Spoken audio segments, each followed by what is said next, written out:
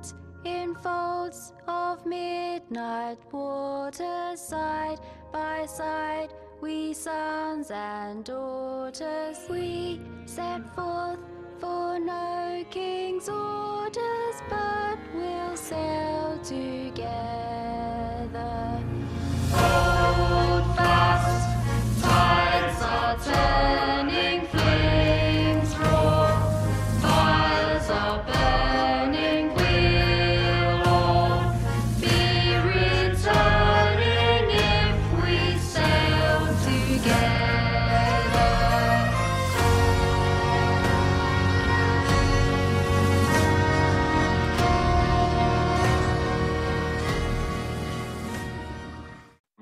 Sea of Thieves, the arcadey pirate game where your only goal is to amass as much wealth as possible and become a pirate legend. Seriously, that's it. The journey is what's important in Sea of Thieves. The sessions with your friends or strangers that can lead to so many memorable moments. Where you don't actually care how much money or experience you earned that day. All you care about are the good times you had along the way. It's changed a lot since release, so in this video I'm going to cover the basic features as well as some of the newer elements for those considering returning to the game.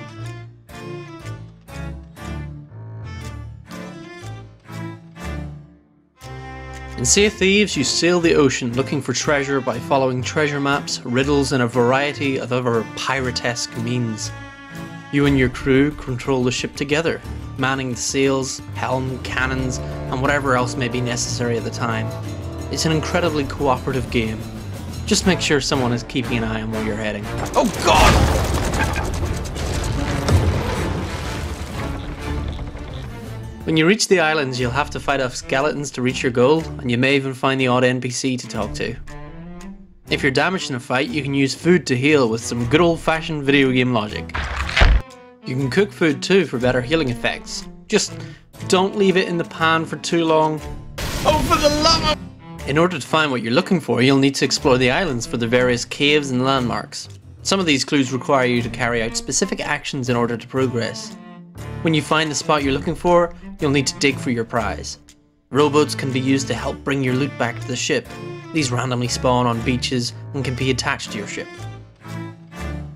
When you have everything, it's time to return to an outpost to sell your stuff.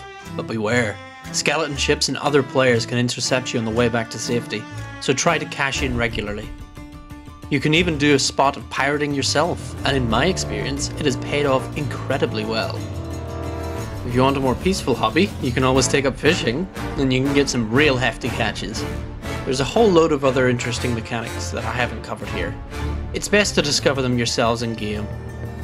You've just got to hope you don't end up changing server at a bad time. Oh Christ.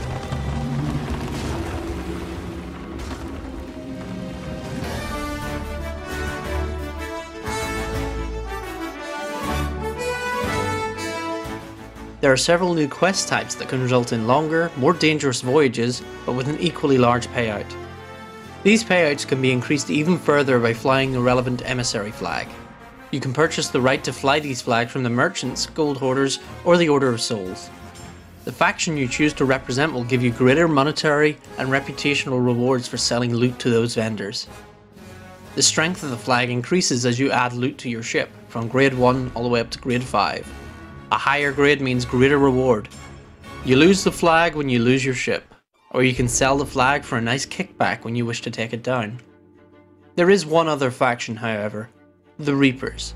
Players who raise the Reaper flag are out for some PvP action. They're visible to everyone else on the map, and once they reach Reaper Grade 5, they can see every other ship with an active emissary flag on their map. So keep an eye out for the Reaper ships beelining towards you. You may be in for a rough time. Thankfully though, players can now be revived by nearby allies, rather than going directly to the ship of the damned. You can still skip the reviver time, if you think it'll get you back in action quicker though. One last new feature, one of the most requested things in the game. More shanties, and a shanty selection wheel to go with them. Excellent.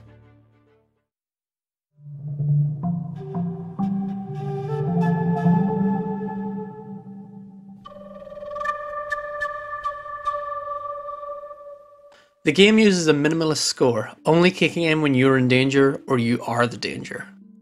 The music cues make it easy to tell what's going on and can really help to instill a sense of dread. Most events come with a jingle of some sort, but the shanties are definitely the best aspect of all this.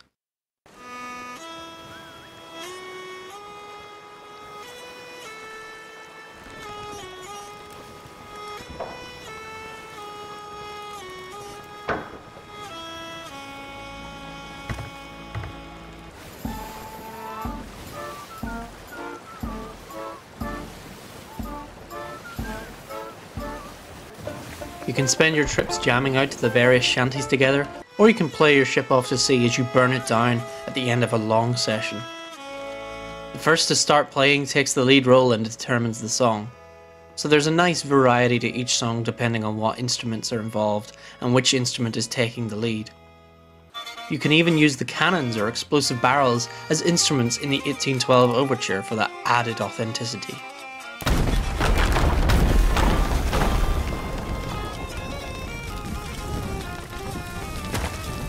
Rest of the sound design is really good, and you can easily tell what's going on from the various sound effects. It all adds up to a really immersive and well designed soundboard that fits the game's visual aesthetics perfectly.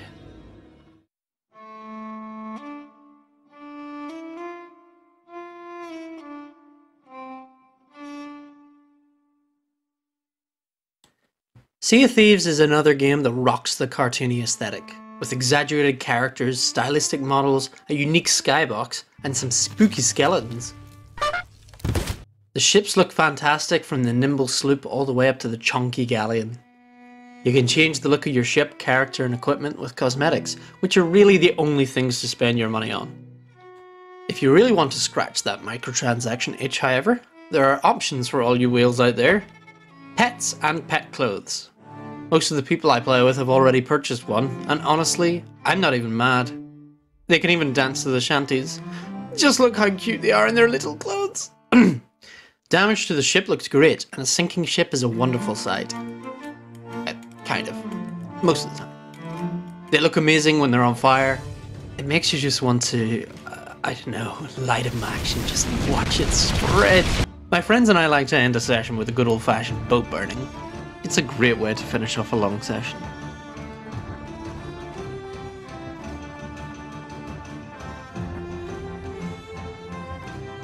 The game does an incredible job at inspiring a sense of mystery and the unknown.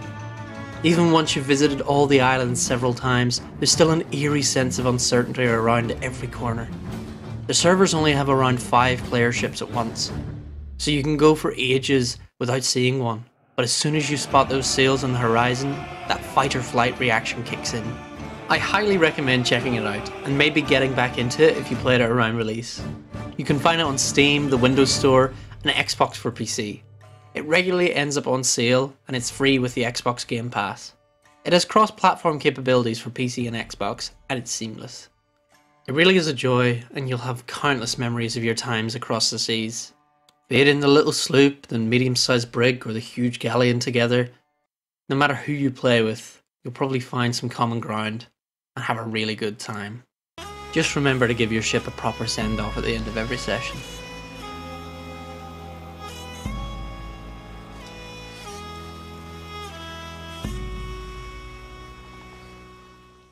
I'll leave you with this clip of when we lost a fight with a ghost galleon, but still played our ship down to the murky depths.